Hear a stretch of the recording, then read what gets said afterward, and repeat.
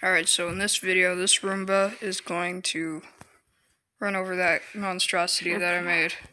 Fire. Go! Spray feed hand sanitizer. No, my man! Gosh dang it!